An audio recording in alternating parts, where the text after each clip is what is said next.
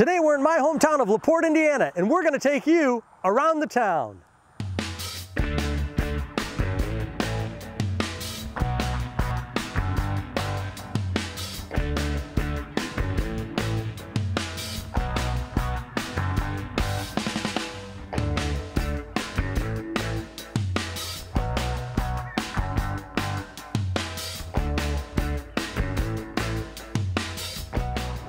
LaPorte, which is French for the door, was founded in 1832. By 1835, it had already grown large enough that it became incorporated as a town.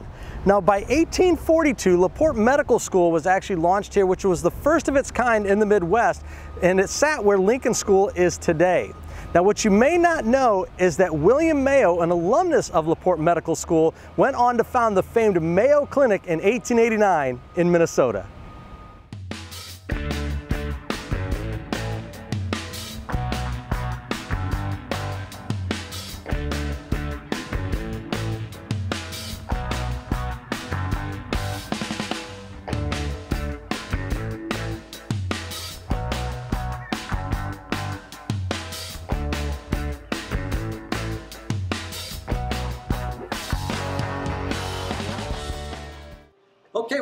Well, down at Hotspot Cafe in LaPorte, and you know, it's funny. The name's Hotspot, and it really has kind of become a hotspot in LaPorte. So, Charity, first of all, thanks for being with us today. Thanks for having me. And uh, I'd love for you to share with us a little bit about uh, Hotspot, some of the things you guys do down here, because I know there's so many different activities happening in here all the time. Share with us a little bit about what's going on. What we're doing down here is we want to be a fun place to come. We have bubble tea, which if you've not tried it, is so much fun. Bite the bubble. Um, we have board games, we have open mic night. Um, come in and uh, spend time reading a book, writing a book. We have several writers that come in. Wow. We, we're just a fun, kind of light place to come and hang out. We got seating outside, um, great coffee, fabulous cold brew. The difference between cold brew and iced coffee is iced coffee is brewed the traditional method and poured over traditional ice cubes. So after a while, it becomes watered down and you're just drinking kind of brown water. Cold brew is never heated. We grind the beans, put them in filtered water, they sit in, the, in brew for 24 hours in the refrigerator. Um, we make our ice cubes with the cold brew coffee. Um, so you get cold brew ice cubes and cold brew coffee, so it's never watered down and actually kind of refills itself as the ice Yeah. cubes melt. You get more cold brew coffee, so and it's a definite difference in taste.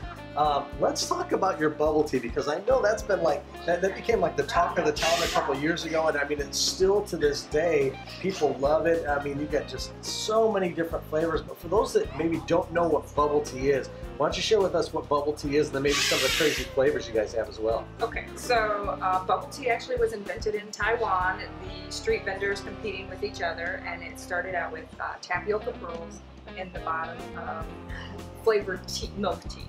Popping pearls, however, bursting bubbles, boba, whatever you want to call them, fabulous. Right. So we have more than 35 flavors, and you can mix and match however you want. Um, we blend it with the black tea and half and half base. We put in the flavor, and then um, we pour it over these tiny little bubbles. Quarter inch bubbles, you get a giant straw. When you drink the tea, you suck up that bubble through that straw and you bite the bubble. And when you bite it, you get a burst of fruit juice.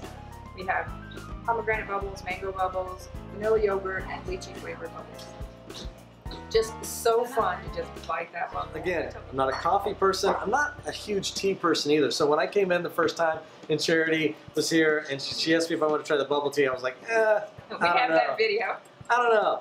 Um, it does not taste like what a traditional tea would taste like, especially with all the flavors added.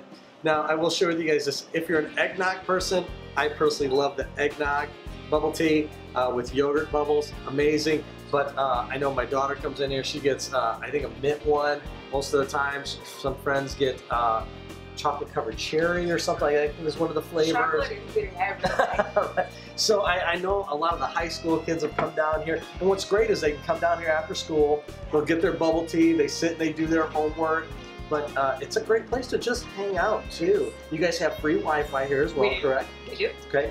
so students can come down, hang out, business people. I've had business meetings in here myself. I know I've been in here when other people have business meetings in here. They've got the Wi-Fi available to them. Huge event for you guys has been your coffee and canvas events that people literally come from all over the region to be a part of. When they have family members in town, they bring them down for the coffee and canvas events. Um, and looking at your wall, I mean, it's just there's so many up there now, different different ones that you guys have done. And I know that you've done some that are geared towards you know younger children as well. And, but overall, it's kind of a family event as it is. Um, for $25 currently, you come in. Um, you get the canvas, the easel, the paint, the brushes, even the coffee. Uh, uh, baby wipes because you know if you don't have paint all over you didn't have a good time it's it's all about having fun we bring you everything you need you just sit down um, follow the instructions and you take home a masterpiece um, examples of that of course are on our facebook page and on our website too so right. And how, and how do people uh, get registered for those events if they'd like to be part of that? Good question. Uh, there's three ways. You can call us on the phone and register. You can um, go to our website, hotspotcafe.net. Um, if you go to our Facebook page, you can click a link which takes you to hotspotcafe.net. Or um, you can come on in, you can look at the pictures in person and see for real if this is something you think you could do. But they're all they're all doable. Absolutely. Um, and then a, a, more recent addition is, and I know you touched on it a, a, little bit earlier, is your open mic nights that you guys are doing now. Open mic nights, so much fun. Bring your talent down. It's every other Friday. Currently, we're outside when yes. the weather gets cooler, we'll we'll bring it in. So and musicians, poetry, whatever, you know, bring it in and, and let us hear. We'll uh, we'll give you the love that you deserve. Right. For whatever your talent is. Right. Off key or not. hey, you know what? It's I, I, know that you've had some incredible musicians. You've had, like I said, poetry readings. A lot of uh, awesome people coming down, and you really never know what to expect when you come down to that. You don't know who's going to be here and, uh, and, and what you're going to get to see and hear. So it's a great event to come down here for. Grab some bubble tea while you're down here. Grab a cold brew while you're down here. Grab a Danish. You guys have some Danishes and things now as well. So there's a few things to eat. And you know, we do live in Northwest Indiana, so I would be remiss if I didn't at least mention your steamer bar as we get into the colder months. Uh, you can come in here and get steamers. Obviously, I get mine more like hot chocolate.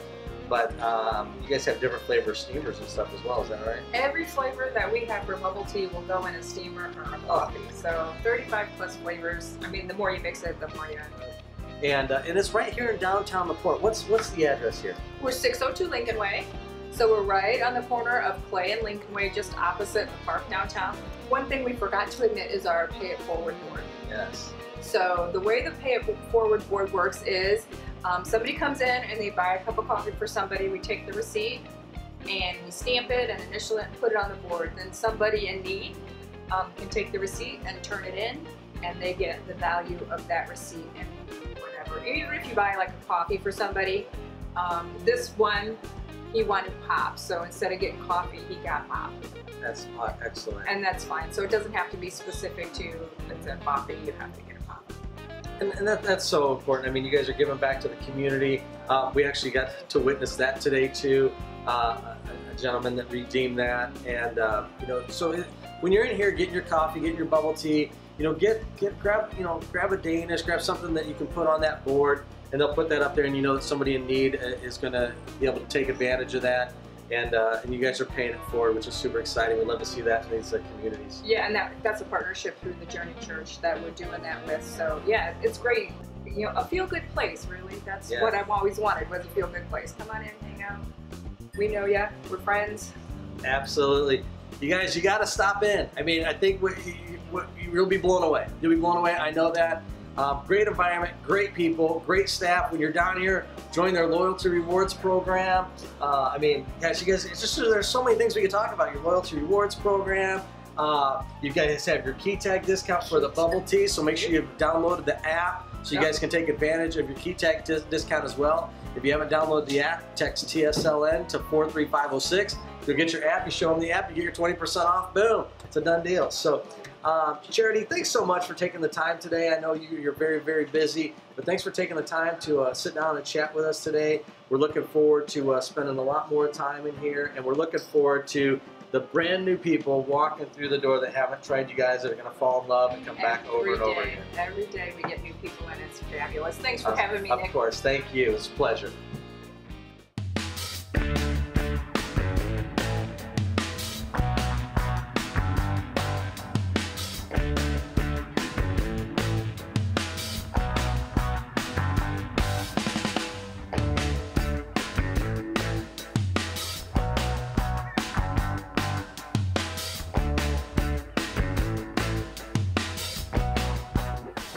At Northside Barbecue in LaPorte, Indiana. And I'll tell you what, when it comes to barbecue, this place has got it down. I've had barbecue uh, lots of places all over the country, and this place is by far one of the most amazing barbecue places around. Now, it's situated right here in LaPorte, right off of Pine Lake, which is a great location anyway when you look out these windows and you can look over Pine Lake. Now, I just ordered their uh, pulled pork sandwich. My wife, who's off camera, actually ordered what's called the Big Hillbilly. Now, she got it without the cheese, but it's got bacon and pork and onions and I mean all sorts of crazy stuff on there. Now, when you come out here, one, one thing that's always kind of fun is when the owner's here, he loves to give you a hard time. In fact, I was in here the other day and I heard him talk to somebody, and somebody asked what the difference was between the um, uh, spicy barbecue sauce and the hot sauce. And his answer was one's hot and one's not. Now that seems pretty, uh, you know, simple, but it's funny because he, he always just likes to have a good time with people. So when you come out here, make sure that you try some of their uh, the, the, different meats. Their um, brisket is unbelievable. You got to try their brisket. Uh, I mean, they smoke it for hours and hours and hours. So uh, it's pretty amazing. So we're gonna take you guys through this experience with us. It's gonna be an amazing time. I can't wait to dive in. All right, so we just got our food, and as you guys can see right here, this looks amazing. So I got the spicy barbecue sauce on mine with the fries. Now it's really a great value. Um, $6.95 for the barbecue pulled pork sandwich with fries. Um, you get to choose which sauce you want like I said, their brisket as well is unbelievable. Um, today, they're actually their, uh, their their special today is rib tips with a side for $8.95. So it's really cost effective. A lot of barbecue places that you go to are, uh, are really expensive. This one is very cost effective that you can actually bring your family out, enjoy uh, lunch or dinner. Uh, the place right now is uh, is packed inside for lunch as well.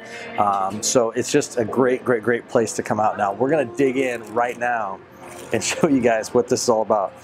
I can't even, I literally can't even get my hands around it without uh, getting my hands soaked here. So here we go. Mm. It is unbelievable.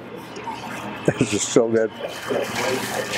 I'll tell you what, it might make a mess, but it's worth it to come down here and try this and just just slop it up, man. You know, grab the ribs, the brisket, whatever, slop it up, get the sauce on it, and dig in. This is unbelievable. Now, one thing I really love about this place too is their fries. I don't put any seasoning on them because how they cook them, they're just so good as it is. So uh, come down, try them out. It's un, un unbelievable. You guys be happy that you came down to Northside Barbecue in LaPorte and try them out. We're going in.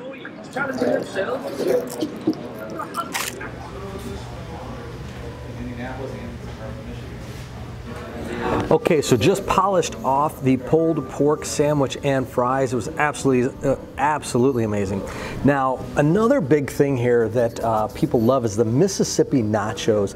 It's potato chips with pulled pork, uh, cheese, sour cream, jalapenos. I mean, and it's a huge portion of it. So people love the Mississippi nachos. Now, another thing you can do is actually get meat by the pound here. So you can get the brisket, um, the pulled pork. They do have chickens here as well. And then um, with 48 hours notice, they can actually do uh, like party packs as well. So if you're having an event and you want to uh, get theirs, just give them 48 hours notice and they can get those party packs available to you as well. Now, another thing, actually, just while we were sitting here, a couple gentlemen uh, shared with us what they really love is the smoked wings that they do on Wednesdays and they do tacos on Thursdays. So if you're in the area on a Wednesday or Thursday, you want to stop in for those couple things as well.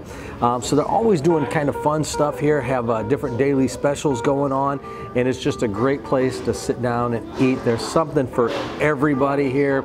And uh, again, uh, don't forget, uh, they've got the pork, the brisket, the chickens, they've got uh, their Mississippi nachos, they've got the catering, they've got the meat by the pound, they've got the chicken wings on Wednesdays, the tacos on Thursdays, tons of stuff going on right here at Northside Barbecue in LaPorte. It's worth the drive. If you're not from this area, it's worth the drive to come in here to Northside and you'll be blown away by what happens inside your mouth when you eat here.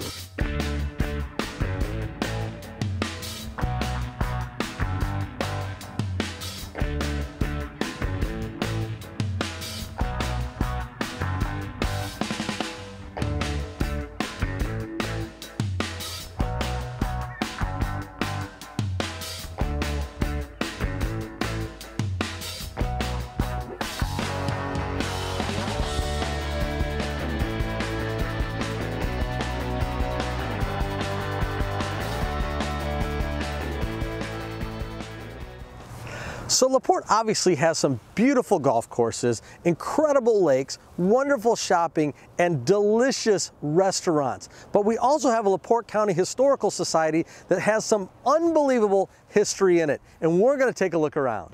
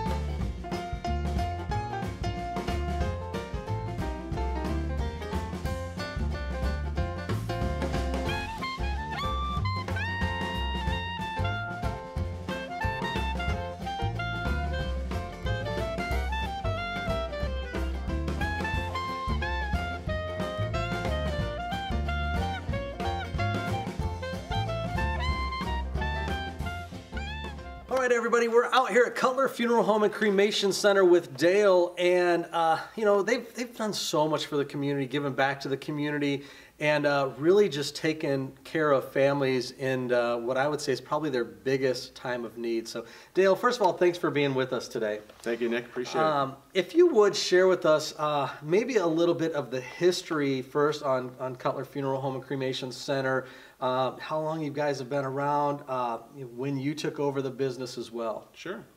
Well, Cutler's has been in business since 1896. Wow. Um, we're actually in our location-wise, we're in our third physical location within the city.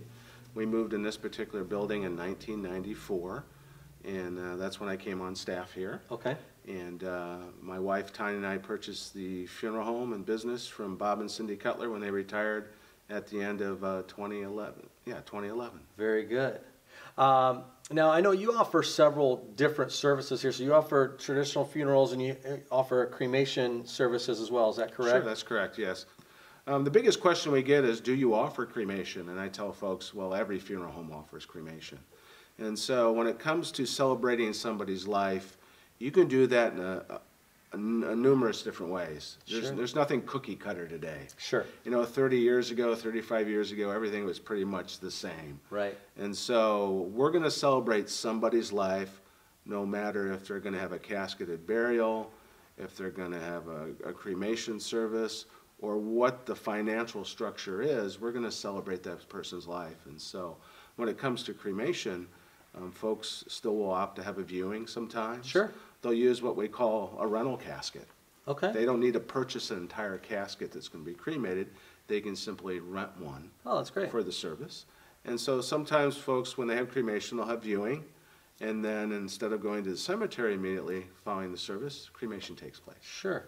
And so um, cremation does give folks a lot of different options today than uh, the traditional, what we would call a casketed burial.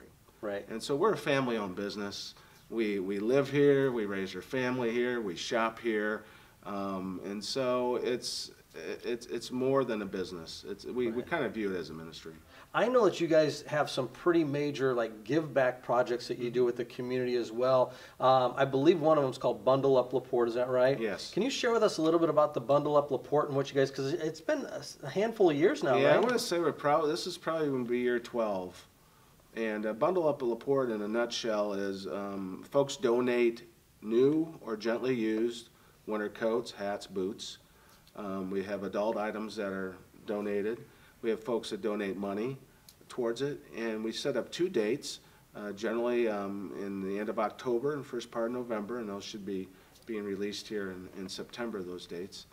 And um, we set up a time with a local church to have a distribution at, and then the PAC Center Oh, in excellent. LaPorte, uh, we uh, have a, a date to distribute things there. And so the money that's donated generally will go to gift cards to be given to the grade school counselors, um, because you have kids that come to school, believe it or not, with no socks on, Wow. no undergarments on. And so, uh, to be able to provide those things, we gift gift cards to the counselors to be able to buy those special need items that students may need. Right. And so, um, yeah, it's a beautiful thing. It's, um, the outpouring of this community when it comes to that, the number of coats that are donated every single year is just, it's just remarkable. Yeah. It's just unbelievable. Now another uh, project that you guys uh, did. I think it started last year. Is that right? The stockings for soldiers. Stocking for Soldiers, this is gonna be our third year. Third year. Okay. on that. And so uh, last year, I think we had just over 400 stockings uh, that folks come in and pick up here. They pick up a Christmas stocking from Okay. us. Uh, They're giving a list of items that can be donated within that stocking.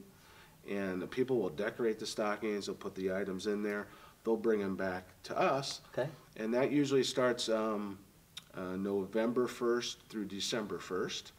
And uh, we connect with the uh, uh, Veterans Organization in Chicago, the USO, and they will ship the stockings. Um, The first year they went to Afghanistan. Okay. Uh, Last year they went out to California to some bases out there.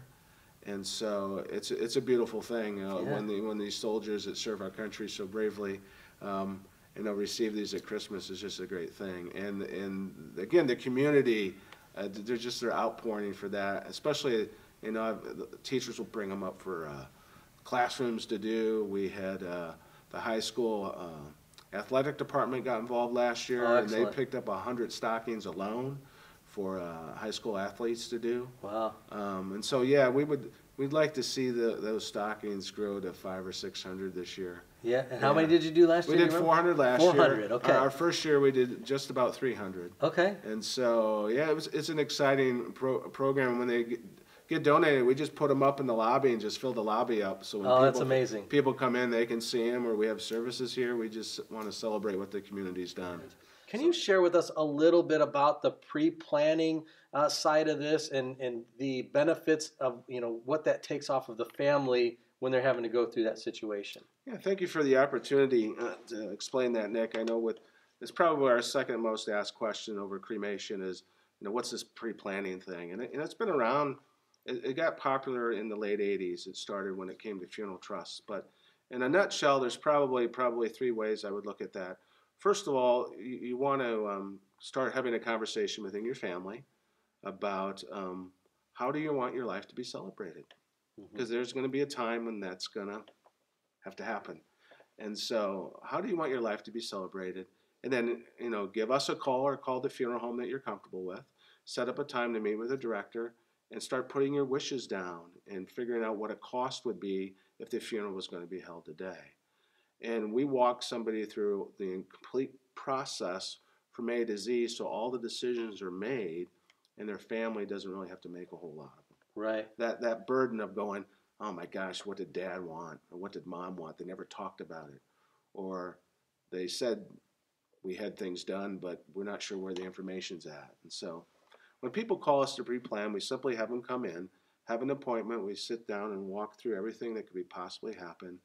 Uh, we write down their biographical information, their family members. We go over what the cost would be today. And then we have that information on file, so when something happens, you know, it's ready to be taken care of. Right. The second point part to that would be setting up how are you going to pay for it. Sure. And the state of Indiana is, is one of the best states out there. They have what's called an irrevocable funeral trust. Okay. And simply, it means irrevocable means nobody can touch the money. It's set aside, it's strictly paid for funeral arrangements. And so if that individual has an issue down the road, if they're going to go on Medicaid, it's protected from Medicaid, those type of things. So the cost is determined today. That money is deposited into a funeral trust and it sits there until it's needed. Wow. And so a couple things happen. In the state of Indiana, it's required to be irrevocable. Nobody can touch the money. The second thing is the state requires that the funeral home guarantees that they're going to provide those services and that merchandise for whatever amount of money is in the trust. Oh, wow. And so it's not an investment. Sure. The trust will grow a little bit, but when the death does occur, the funeral cost is figured out at that time, which is going to be more because of inflation Sure. And the, basically the funeral bill is submitted to the trust. The trust pays the funeral home. Excellent. The biggest question I have in that is, what if there's not enough money in the trust? Well, the state of Indiana says we have to guarantee it. And so if the trust doesn't grow enough to meet our inflationary costs, that's the funeral home's loss. hmm If it does, that's the funeral home's gain. Sure. It's, it's a beautiful gift, and the people who experience it, they don't, re- they don't receive the gift until mom or dad's gone. Right. And, but when they, when they do receive the gift, they realize how much it, what it means. Absolutely. Wow. Um, I know you guys have been doing tremendous things in the community, helping families for a long, long time, and I just wanted to personally thank you for that. I know you've taken care of, uh, you know, some of my family members, some of my friends, um, and uh, people that we've lost way too soon, and you guys have done it with uh, just a, a, an amazing heart through the entire process. So, Dale, I appreciate you taking the time out of your schedule to meet with us today. A lot of great information. I know the the community. It's uh, it's something obviously. Um, with the businesses that work with us, this isn't a place that they walk into every single day. But I love the fact that when they do walk in here, it's a familiar face for them to know, and, and somebody that they, they feel like they can they can trust and that cares. Thanks so much, those kind Dale. words, yeah. Absolutely. Have a great day. Yep.